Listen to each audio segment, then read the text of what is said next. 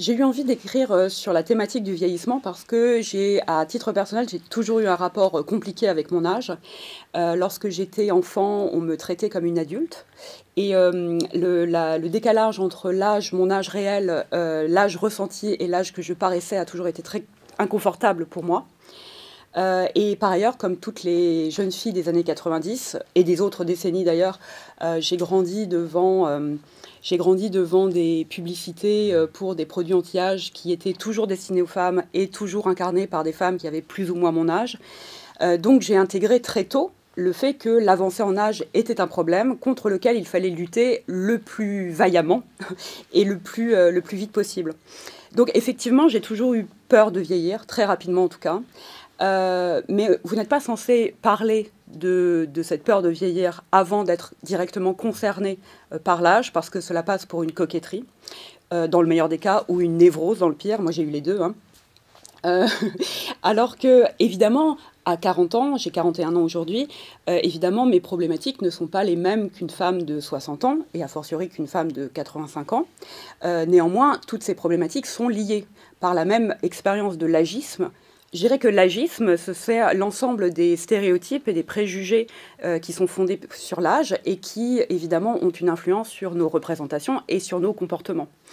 Et, euh, c'est ça dont je parle dans mon livre, à travers mon expérience personnelle, à travers mon, à travers mon histoire euh, personnelle. C'est ce que je dis. Je dis que l'âge de notre naissance à notre mort est d'abord et avant tout un problème de femme pour trois raisons principales. D'abord, euh, nous sommes euh, sexualisés et responsabilisés très tôt contrairement aux hommes. C'est nous qui sommes amenés à nous occuper des personnes vulnérables, et notamment des, personnes âgées dépendantes. Et par ailleurs, euh, l'écrasante majorité des aides à domicile, des aides-soignantes, des infirmières, des personnels qui, qui travaillent dans les EHPAD sont là encore des femmes. Et enfin, à propos des EHPAD, euh, il ne faut pas oublier que du fait de l'écart d'espérance de vie entre les femmes et les hommes, euh, les personnes les plus âgées, donc les plus vulnérables, qui sont aussi les plus maltraitées, sont encore une fois des femmes, puisque euh, 8 résidents en EHPAD sur 10 sont des femmes.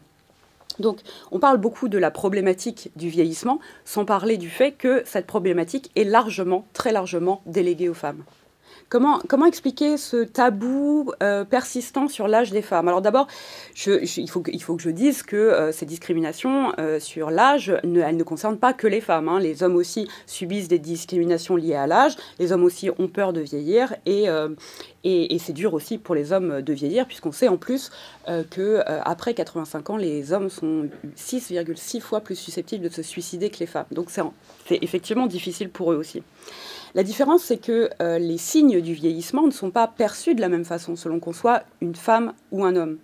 Et euh, donc un exemple tout bête, c'est que les rides, par exemple, ou les cheveux blancs, ou l'absence de cheveux, de cheveux, ne sera jamais perçu comme un signe de laisser-aller ou de négligence euh, chez un homme. Ça pourrait même être un atout de séduction, ce qui ne sera jamais le cas euh, pour les femmes. Donc, ce qui explique aussi la différence en fait des, entre les, stéréotypes d'âge entre les hommes et les femmes, c'est-à-dire que les, femmes euh, seront impactées beaucoup plus tôt et beaucoup plus violemment que les, hommes. Et pour répondre à votre question, donc qu'est-ce qui explique la persistance de ces, de ces tabous qui sont liés au vieillissement des femmes? Je pense qu'ils sont je, dirais qu'ils sont liés à trois éléments peut-être principaux. Euh, c'est d'abord que nous vivons dans une société capitaliste qui est fondée sur le renouvellement permanent où euh, la jeunesse est une valeur en soi, hein, une, qualité en soi. On vit quand même dans une société où le terme vieux est perçu comme une insulte. Je ne suis pas censée dire les vieux, par exemple, mais les personnes âgées, alors que personne n'a de scrupule à parler des jeunes. Par ailleurs, l'agisme, c'est une discrimination dont on parle encore très peu, en tout cas en France, et c'est une discrimination invisible. On a tendance à, on a tous évidemment des stéréotypes euh, sur les personnes âgées, mais on a tendance à considérer que ce sont des faits et pas des stéréotypes, qui sont euh, finalement le résultat naturel du fait de vieillir. Et enfin, euh, ce qui explique la persistance de ces a priori sur le vieillissement euh, des femmes, c'est le tabou persistant sur la ménopause, qui est qui est, qui est vécue et qui est perçue aussi comme une défaillance finalement du corps euh, féminin, surtout par opposition au corps masculin qui est euh, réputé euh, pouvoir procréer et, et, faire des enfants jusqu'à la fin de, jusqu'à la fin de l'existence. Et encore aujourd'hui, d'ailleurs, on, félicite la plupart des jeunes filles en leur disant à leur première règle que désormais elles deviennent des femmes. Mais ça implique aussi que du coup, quand elles n'ont plus leurs règles, elles ne sont plus des femmes. Il faut quand même aussi se rendre compte que le corps médical pathologise, continue de pathologiser la ménopause en parlant de, ménopause en termes de symptômes, en termes de carences, en termes de troubles et, euh, en termes de dérèglement hormonal aussi, comme, euh, comme par exemple le diabète. Alors que le diabète, euh, le diabète, ça concerne 5,2% ou 3%, je ne sais plus exactement, de la population, alors que la ménopause concerne quand même 100% de la moitié de l'humanité. Donc on pourrait penser, on pourrait espérer qu'on parle de la ménopause, non pas comme d'une maladie, mais tout simplement d'une évolution normale et naturelle, comme d'une étape de la vie des femmes. Euh, or, j'ai appris en écrivant mon livre que 65% des femmes considèrent euh, la ménopause comme un handicap plutôt que comme une étape de leur vie. Et euh, enfin, j'ai des tas de, statistiques horribles au sujet de la ménopause, mais notamment, j'ai appris que c'était le sujet, parmi les sujets qui sont considérés comme les plus tabous euh, au sein de la société, la ménopause remporte le pompon, si je puis dire. Et donc, c'est considéré comme plus tabou que la religion, la politique et même la santé mentale. Donc ça n'est pas étonnant euh, après ça que 8 euh, femmes sur 10 se, déclarent, euh, disent avoir peur de la ménopause et ne se sentent pas préparées à la ménopause. Pour permettre aux femmes de s'épanouir tout au long de leur vie sans se soucier de leur âge, il faudrait d'abord s'attaquer aux problèmes structurels, puisqu'on sait que les inégalités entre les femmes et les hommes augmentent avec l'âge, et notamment les inégalités économiques. Et ça, c'est dû à plein de raisons, mais en résumé, c'est notamment dû au fait que euh, le temps partiel ou le taux d'inactivité augmente avec l'âge.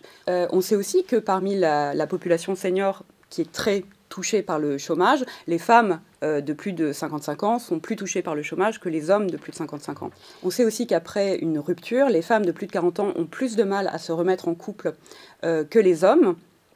Et euh, ça a aussi une incidence sur, euh, sur euh, leur, leur, leur, vie économique, puisque, bah, puisque ce sont elles qui ont principalement la garde des enfants. Hein. On sait que 8 chefs de famille monoparentales sur 10 sont des femmes et ces familles monoparentales sont touchées deux fois plus que les autres par la pauvreté. Donc euh, cette histoire de vieillissement n'est pas qu'une question de ridule ou de cheveux blancs, etc.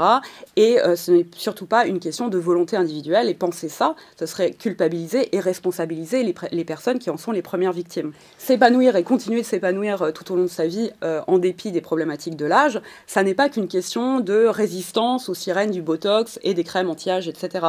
D'abord, il faut quand même préciser à ce sujet que les femmes font exactement ce qu'elles veulent avec leur corps. Euh, c'est important de le dire parce qu'en tant que féministe, on ne peut pas défendre d'un côté la liberté des femmes de disposer de leur corps et euh, de l'autre euh, décréter qu'il y a des corps plus féministes, donc plus légitimes que d'autres.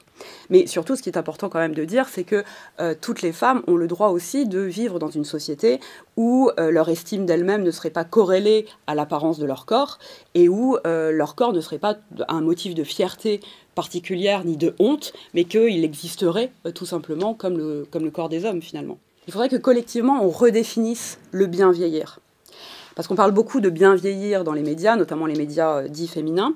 Euh, mais c'est quoi, le bien, c'est quoi bien vieillir? Ça veut dire euh, garder l'apparence de la jeunesse et conserver des activités de personnes plus jeunes que soi. Donc ça veut dire ne pas vieillir en fait. Rester jeune, c'est ne pas vieillir. Et ça suppose aussi le bien vieillir, qu'il y a des gens qui vieillissent mal. Il faut absolument qu'on arrête de classer les bons vieux qui sont en fait des faux jeunes, et les mauvais vieux, qui sont des vrais vieux. C'est une conception qui est là aussi agiste finalement. Euh, c'est une, une conception qui est agiste, mais aussi classiste, puisque euh, là encore, le bien vieillir n'est pas qu'une question de volonté individuelle, et ça dépend de plein de paramètres, et notamment de paramètres économiques. Et le remède à cette conception du, bien vieillir, ça n'est pas non plus la méthode Coué, ou de dire que, par exemple, 70 ans est le nouveau 30, ou, euh, ou que c'est formidable de vieillir, parce qu'encore une fois, ça n'est pas universellement vrai. Euh, le remède, ce serait, ce serait de, concevoir enfin la vieillesse comme une étape à part entière de l'existence, de des femmes comme des hommes, avec ses avantages et ses inconvénients. Il faudrait admettre que bien vieillir, ça n'est pas résister au temps, mais davantage faire du temps qui nous reste ce qu'on veut et ce qui nous ressemble le plus.